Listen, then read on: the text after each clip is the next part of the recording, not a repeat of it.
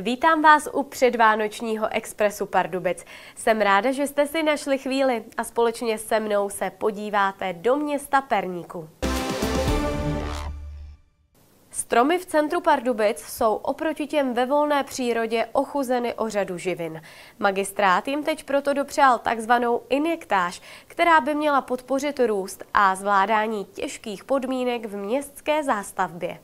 Součástí bylo provzdušnění půdy a aplikace směsi obsahující hnojivo a prospěšné mikroorganismy. Zhruba tlakem 8 atmosfér do té půdy vlastně zabodneme nejdřív takovou jehlu, najdeme tu vrstvu, kde vlastně jsou ty jemné kořínky a tam prostě děláme nejdřív vzduchové kapsy a do těch vzduchových kapes potom vlastně aplikujeme eh, materiály, které jsou vlastně plný živin. Výsledky by mohly být vidět už na jaře, a to tak, že budou stromy zelenější a koruna hustší. Ošetřili jsme 10 eh, stromů na Prštínském náměstí a k tomu jsme ošetřili ještě 4 stromy na náplavce a celková cena je necelých 100 000 korun. Pokud budeme spokojeni s výsledky, tak určitě vytipujeme další stromy, které jsou eh, nějakým způsobem znevýhodněny, nemůžou růst eh, dostatečně volně. Město takto ošetřilo 10 stromů na Pernštínském náměstí a 4 na náplavce za necelých 100 tisíc korun. Peping neboli pardubický podnikatelský inkubátor uspořádal nultý ročník Vánoční šouference.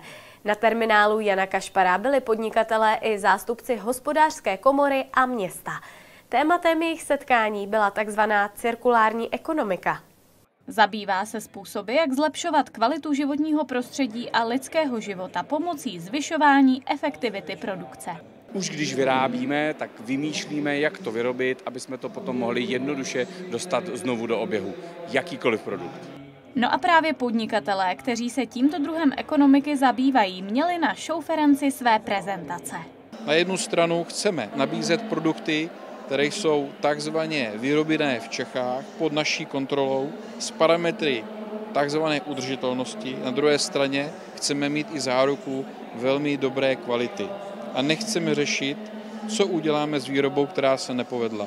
V cirkulární ekonomice vidíme smysl, už deset let, možná více se bavíme o měření uhlíkové stopy, zatím jako cirkulární ekonomika eh, pro občany České republiky znamená, že třídí minimálně odpad a to se daří. Díky velké účasti a zájmu by chtělo vedení Pepingu šouferenci pořádat pravidelně každý rok. Východočeské divadlo v Pardubicích si pro své příznivce chystá tradiční štědronoční zpívání. Místo půlnoční tedy mohou lidé přijít za svými oblíbenými herci.